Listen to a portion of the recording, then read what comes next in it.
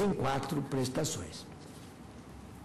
Considerada todas as, todas as ponderações feitas, é forçosa a conclusão de que, sob um cenário de inflação elevada, a previsão de um índice de correção abaixo da inflação acarreta imposição tributária sobre algo que definitivamente não é a renda. Foi precisamente o que ocorreu. A fixação do índice de seis cruzados novos e 92 centavos, aquém da desvalorização efetiva da moeda, gerou graves distorções, isto é, tributação de lucros inexistentes, alterou a natureza específica do tributo, que passou a incidir sobre o patrimônio, e desrespeitou com isso a divisão de competência do texto constitucional. É de se indagar também se houve ofensa a outros princípios constitucionais, como indica o menoscabo ao princípio da capacidade contributiva, a previsão da aplicação do IPC a uma determinada categoria de contribuintes envolvidos em operações de reestruturação societária, que afrontaria a igualdade e a isonomia, como a aplicação das leis ao mesmo exercício e sobre fatos pretéritos, o que ofenderia, respectivamente, a anterioridade e a irretroatividade.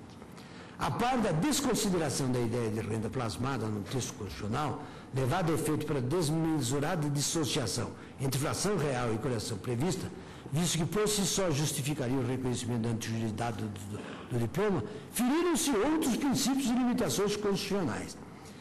Como a exação se abateu sobre o índice de riqueza, o patrimônio, diversos daqueles que integram, caso de renda, o rol das competências tributárias expressamente distribuídas pela Constituição, houve defeito no desenho da exação, sob o prisma da legalidade, pois para incidir sobre o patrimônio das empresas, deveria ter obedecido a técnica da competência residual da União, que requer de conformidade com 154.1 uma lei complementar vislumbra, além disso, desrespeito à capacidade contributiva da empresa. Tendo visto que as fronteiras da noção geral de renda foram ultrapassadas, torna-se evidente que vedar à empresa o direito de deduzir em montante adequado despesas referentes à correção monetária equivale a obrigá-la a recolher imposto sobre algo que não é renda. E renda é, inequivocamente, o único índice presuntivo de riqueza que o imposto sobre a renda pode alcançar. Deve-se ter presente a esta altura a velha lição de Rui Barbosa Nogueira que dizia a base de cálculo é a expressão econômica do lucro do fato gerador portanto, nele está inserida. A Constituição não adota o simples critério formal de citar apenas uma denominação, como seria imposto de renda, mas especifica a substância ou a relação fática sobre a qual o legislador ordinário do respectivo físico ou governo poderá unicamente fazer incidir o imposto que lhe é atribuído. Qual é o alcance desta técnica de limitação da Constituição? De e especificar a própria base econômica, racione matéria, isto é, só permitir ao legislador ordinário instituir um imposto sobre a renda e proventos, senão porque eles, como ganho, são índices de capacidade contributiva? Senão porque essa delimitação constitucional é da própria substância, especificando qual o único assento desses impostos para não causar ampliação ou distorção deste e de conflito com outros. Evidencia-se, ademais, ofensa ao princípio da igualdade, em razão da aplicação do IPC a pessoas jurídicas envolvidas em operações de incorporação, fusão ou cisão previsto no artigo 31 da Lei 7.799 sem que o critério de discriminação, ter participado das mencionadas operações, seja justificável. E não bastasse as referidas inconstitucionalidades perpetradas pelas leis impugnadas, foram violados ainda os princípios da anterioridade e retroatividade. Feriu-se aquele assegurado no 153B, porque a majoração do tributo consistente na coartação da possibilidade de reconhecimento de correção adequada foi implementada para que valesse no próprio exercício e ignorou-se a garantia da irretroatividade, 153A, na medida em que as disposições legais se voltaram a colher fatos pretéritos, ainda que sob o falso pretexto de refletir os efeitos da desvalorização da moeda observada anteriormente à vigência desta lei, como está no artigo 30 da Lei 7.730. Em conclusão, a melhor solução para o caso, no meu entendimento, com o devido respeito, envolve, em primeiro lugar, o reconhecimento da inconstitucionalidade dos dispositivos questionados, deixando-se a regência da matéria a cargo da legislação anterior. E, em segundo lugar, a interpretação de que o valor quantitativo do índice aplicável deverá refletir a real inflação do período, isto é, a variação do IPC de 70,28%. A inflação dada pelos índices oficiais à época, portanto, é exatamente aquela pleiteada pelo recorrente. Uma observação se faz crucial. Nestes autos, a recorrente, é a do RE 208 526, impetrou mandado de segurança porque deduzir a título de despesa os efeitos resultantes da correção de suas demonstrações financeiras decorrentes da fixação da OITN de 2019 em 10,50, o que equivale à variação do IPC em 70,1. Ora, o índice formal ao qual se reporta a legislação de regência do caso, o decreto 2.341, era as OTNs que, por sua vez, refletiam o índice substancial de inflação, IPC, onde se mostrou correto o procedimento da recorrente em adotar o índice oficial. Diante dos pontos subsidiários, eu dou provimento ao recurso extraordinário para, sentando a inconstitucionalidade do parágrafo 1 do artigo 30 da Lei 7.730 e do artigo 30 da Lei 7.799 de 89, conceder a segurança, acompanhando no ponto o ministro Marco Aurélio, que reconhece, verbos, à recorrente o direito à correção monetária considerada a inflação nos termos da legislação revogada pelo chamado Plano Verão. É como voto, senhor presidente, em ambos os recursos. Senhor presidente, é, pela ordem, e consta do material coligido pela secretaria que o ministro Aros Grau já proferiu voto que inibiria a minha participação. Sucede que não foi destacado o conhecimento do mérito do recurso. E já há dois votos no sentido do mérito. Então, se eventualmente o conhecimento do recurso for superado, tenho a impressão de que se impõe a minha manifestação sobre o mérito.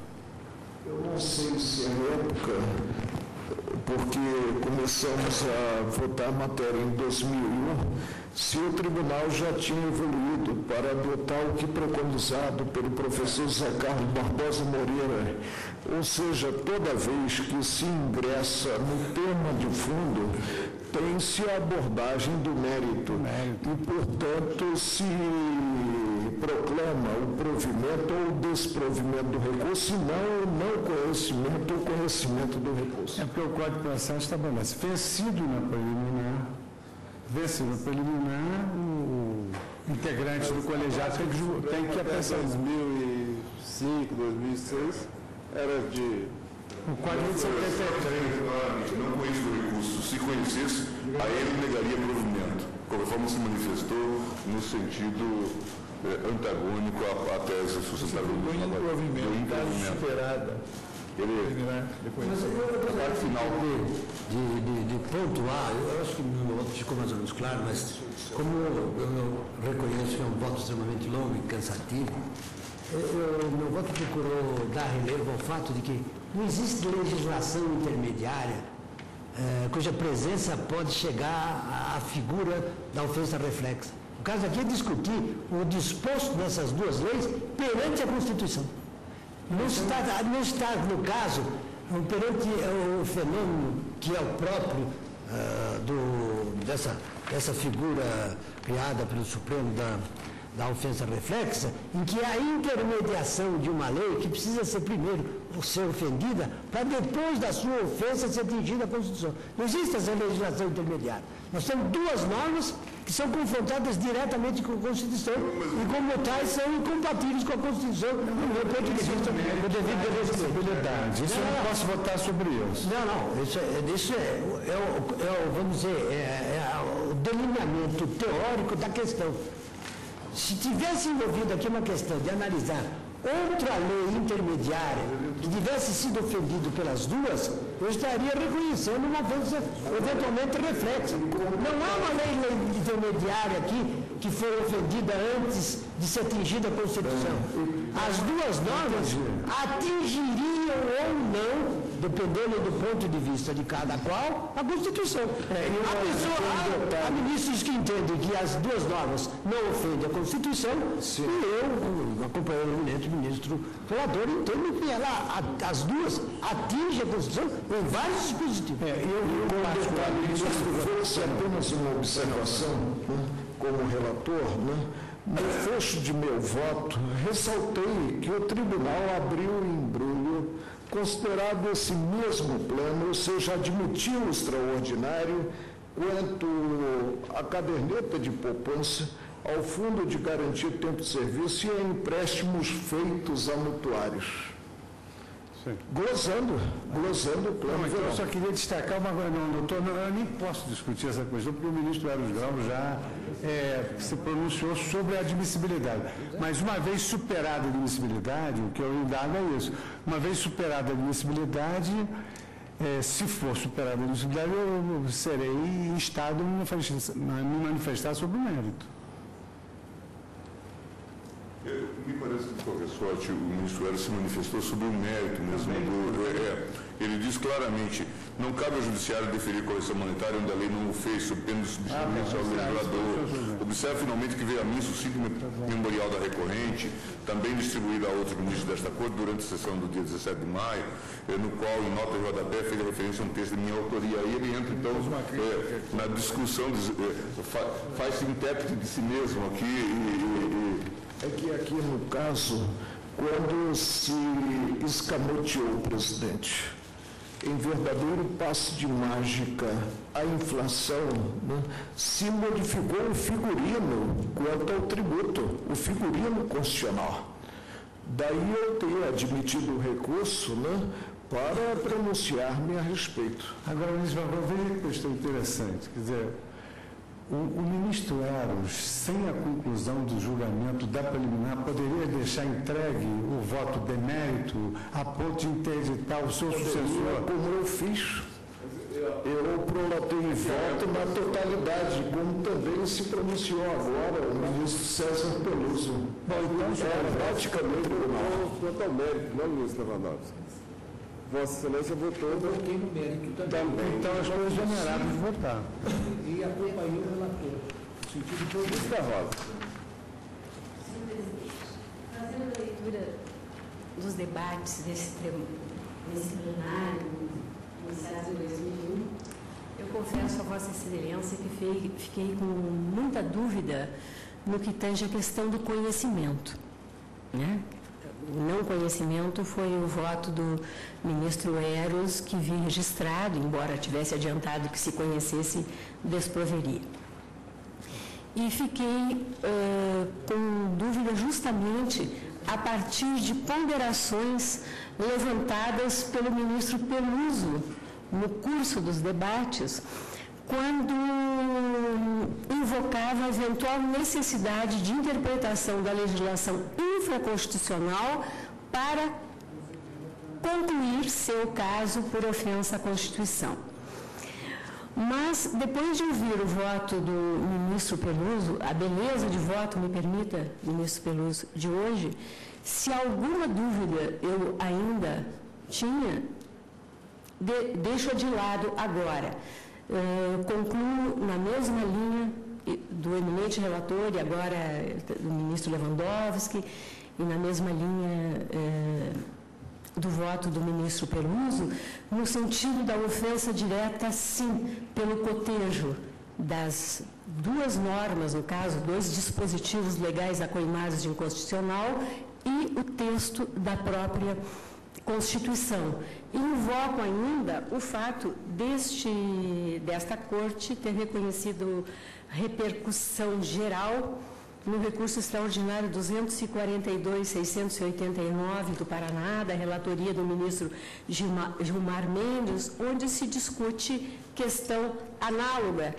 Ali, eh, o pedido consiste em ver assegurado o direito de utilizar o índice IPC como indexador da correção monetária das demonstrações financeiras do balanço, relativos ao ano base de 1990 e aqui nós estamos discutindo de 1989 o plano verão e não o plano Collor. Então, pedindo vênia aos que entendem o contrário, eu conheço do recurso. E quanto ao mérito, a minha convicção se faz na mesma linha. Entendo que, embora o legislador tributário tenha liberdade conformadora no tocante justamente à base de cálculo do imposto de renda e ao tratamento dos efeitos inflacionários, a falta na Constituição da República justamente de um conceito preciso, fechado, do que seja renda, Entendo também que esse legislador tributário, ele há de observar, como bem destacou agora o ministro Peluso, o núcleo semântico mínimo da Carta Constitucional, que na verdade, com relação ao qual, na verdade, não há na doutrina e na jurisprudência dessa corte eh, maiores divergências, no sentido de que sempre traduz um ganho, lucro, acréscimo patrimonial. E esse conteúdo, esse núcleo semântico mínimo, a meu juízo, ele limita o poder discricionário do legislador e fica submetido, no mínimo, a um juízo de proporcionalidade, a um juízo de razoabilidade. E, nesse caso, os dados fáticos todos reveladores né, da inflação do período superior a 70%, e, e eu não preciso acrescer qualquer fundamento ou qualquer dado outro diante do, de todas as minúcias com o brilho trazido pelo ministro Peluso, eu concluo que, na verdade, há esse juízo de proporcionalidade, esse juízo de razoabilidade que essa corte, um precedente da acredito que da, não, não foi relator, não, foi, não era relator o ministro Jobim, foi redator, né? ele já apontava, eu entendo que nesse caso, esse juízo de proporcionalidade me leva a reconhecer a inconstitucionalidade dos dois preceitos e, na mesma linha aí do voto do ministro Peluso, a prevalência da legislação anterior. É como voto, presidente, pelo conhecendo e provendo o recurso extraordinário. Ministro Toffoli. Após o voto do ministro Peluso, que dava, conhecia e dava provimento ao recurso da ministra Rosa Weber, no mesmo sentido, pediu visto o ministro Dias Toffoli. Chama julgamento. Eu só gostaria que ficasse consignado para, em respeito aí colegas que no recurso extraordinário 253, eu também dou provimento ao recurso, mas com uma limitação, que é um pedido expresso da recorrente em aplicar um índice menor. Como é o pedido dela, eu não posso conceder mais do que ela pediu, o provimento é dos mesmos termos, reconhecendo a inconstitucionalidade, mas é permitida a adoção do índice menor que ela pleiteou. Nesse ponto, o, voto, o voto Vossa Excelência... Também é providente, não... não... Tivesse o voto do relator? O relator também deu provimento julgando inconstitucional, mas não se pronunciou exatamente não se pronunciou. Pois bem, uh, eu anoto que o,